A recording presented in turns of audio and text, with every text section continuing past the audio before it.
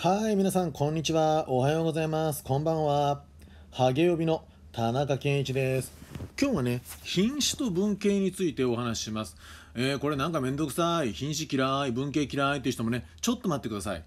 何のために品種があるのか、何のために文系ってのがあるのかっていうのを知ってもらったら、もしかしたら、うわ、嫌い、うざいっていうあなたの気持ちが、もしかしたら、うわ、品種さん素敵、文系最高になるかもしれないお話をしていきます。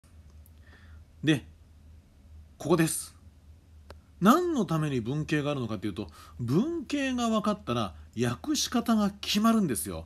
嬉しいですね。便利ですね。すごいよね。もう文系万歳ですよ。万歳。万歳。万歳。やったぜ文系っていう。そう。これなの。このことをちゃんと知らされずに文系の勉強しても何の意味もないんですよ。で学校の先生や塾の先生のね多くの人はここをねあんまり強調してくれないかもしれない。なぜかっていうとこんなことみんな知ってるでしょって思って授業なさってると思うんですよ。でもね意外とこれ覚えてない人がいるの。ね、文系が分かったら訳し方が決まりますよ。じゃあそれぞれの文系の訳し方を覚えてほしいんですよ。はいこんな感じです。文系にはそれぞれ基本訳とでも呼べるものがあります。まあ、この基本訳って言葉は僕が決めたというか僕が作ってる言葉なんですけどここねぜひスクショするか書き写してください。第一文系と呼ばれる SV は S はまたは S がの時もありますけどね。S は V すると訳します。第二文系とも呼ばれる SVC は S は C であるまたは S は C になる。第三文系 SVO は S は O を V する。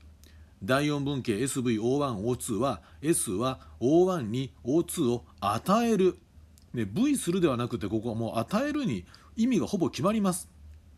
で第5文系 SVOC はこれは2通りあります。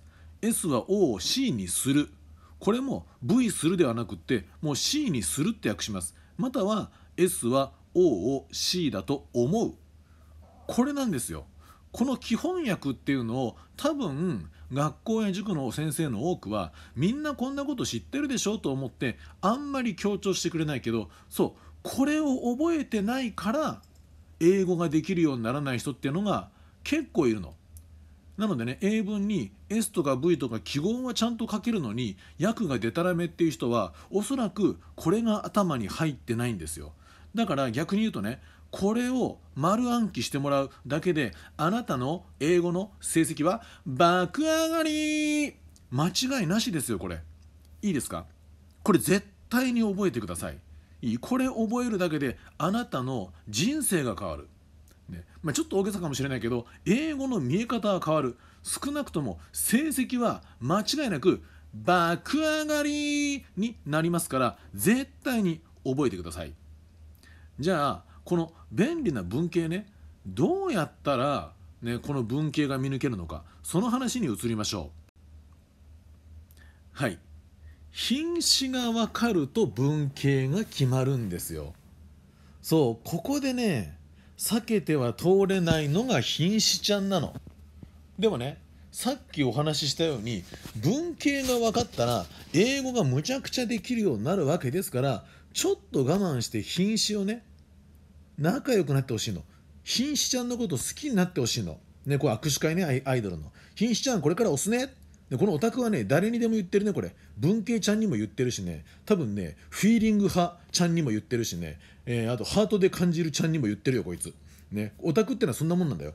で、まあ、アイドルさんもでもこれはもう商売ですからね。嬉しいありがとうって俺言ってくれてるっていうね。もう花飾りが可愛いじゃないですか。でね見てくださいよ。オタクは片手出してるのにアイドルさんはね両手でオタクの握手で手をね包み込む両手握手ですよ。ね。うん。そう。品詞のことを好きになろうねっていうお話。だってさ品詞が分かると文系が分かるんですよ。文系が分かると訳し方が決まるんですよ。さあでは文系の判断法です。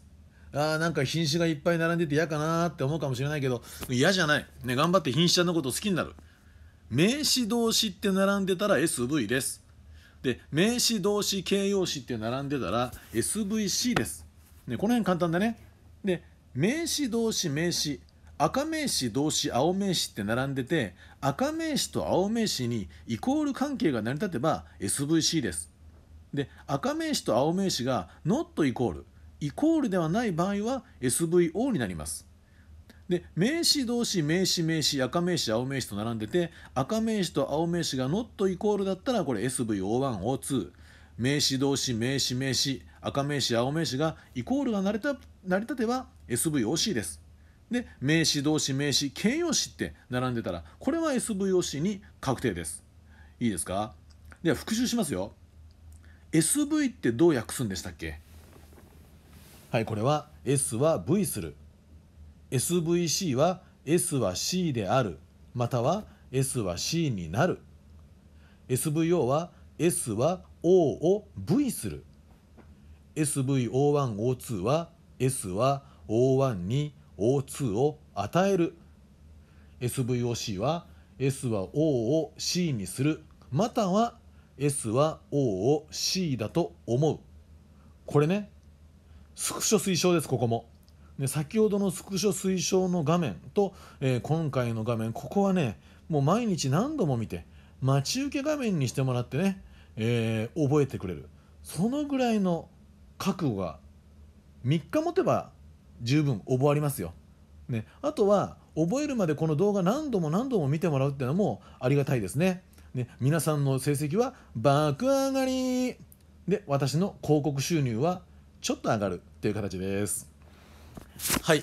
ではまとめに入りましょう。ああちょっと間違えました。変な画像が出ました。はい。切り替わりました。もっと勉強したいあなたへ。噛んじゃった。で私英文法とか英文読解のドリルをこの3冊出してます。これらももちろん全て文系についての話が載ってますから、まあ、よろしければ本屋さんで手に取って確認してみてください。これで文系についてはしっかり練習に練習ができるようになってます。はい今回もご視聴ご受講ありがとうございました、えー、チャンネル登録高評価をしていただけると大変嬉しく思います。お疲れ様でした。またお会いしましょう。さようなら。